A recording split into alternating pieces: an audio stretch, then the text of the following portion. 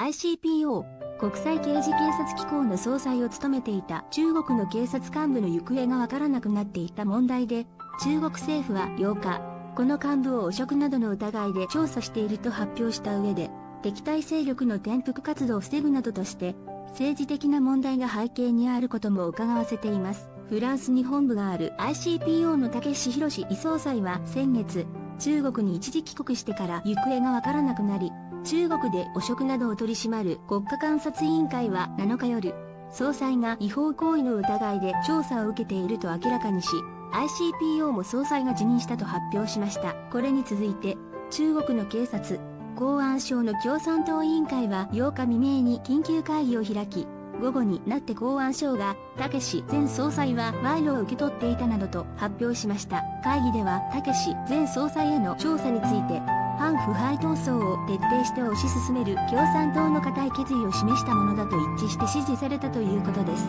また、6年前まで中国共産党の最高指導部の一人で、その後、汚職などで摘発された周長康元政治局常務委員に触れ、周長康の毒の影響を徹底的に取り除くと強調した上で、敵対勢力の妨害、破壊、転覆活動を防ぐとして、政治的な問題が背景にあることも伺わせています。たけし前総裁は周永康氏が公安省のトップだった2004年から次官を務め、おととしからは次官を兼ねたまま中国人として初めて ICPO の総裁に就任していました。報道官、反腐敗推進の決意表している。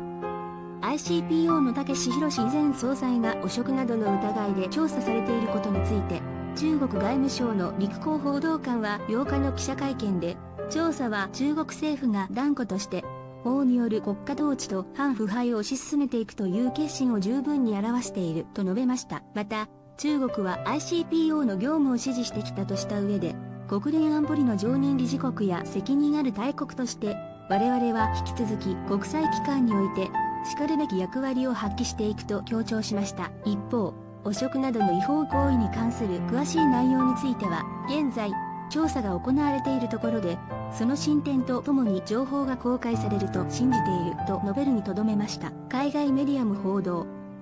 先月から行方がわからなくなっていた ICPO、国際刑事警察機構の武志博前総裁について、中国政府が違法行為を行った疑いで調査していると発表したことを欧米のメディアは揃って大きく報じ、一部は習近平政権による粛清だという見方も伝えています。このうち、アメリカの CNN テレビは、ミステリアスな失踪に新たな進展があったとして、フランスの内務省の話として、彼の妻は電話やソーシャルメディアで脅迫を受けているとも伝えています。また、イギリスの公共放送 BBC は、大きな謎が少しずつ解明されているが、彼が最終的にどうなるのかはまだわからないと伝え、たけしが今後、中国当局からどのような扱いを受けるのかは明らかではないとしています。さらにフランスの有力シルモンドは、粛清という見出しを取り、たけしが出世するのを助けた周永康氏は、汚職取締りのキャンペーンの中で逮捕されたたけしも今年4月に党内の役職を外されていたとして、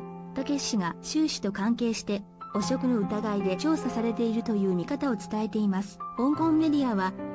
一部の香港メディアなどは、2014年に汚職などで摘発された州長康元政治局常務委員との関連を指摘しています。周氏は2002年に中国の警察トップ、公安省に就任し、2007年からは当時9人いた中国共産党の最高指導部である政治局常務委員の一人として、警察から司法全般に及ぶ強大な権力を握っていました。しかし、2012年に政治局常務委員を退いた後、新たに発足した習近平指導部が掲げる汚職取締りのキャンペーンの中で、多くの元部下らと共に摘発され、2015年には巨額の賄賂を受け取ったなどとして、無期懲役の判決を受けました。武志博医師は、周永康氏が2002年に公安省のトップに就任した際、秘書役に登用され、その後、2004年からは14年間にわたって次官を務め、中国人として初めて ICPO の総裁に就任した後も時間を勤務してきました。このため、香港メディアなどは、たけしも周永康氏に関係して、汚職の疑いで拘束されたとの見方を伝えているほか、中には共産党の安定を損ないかねない、もっと重大な政治的対立に絡んでいるといった見方を伝えているところもあるなど、様々な憶測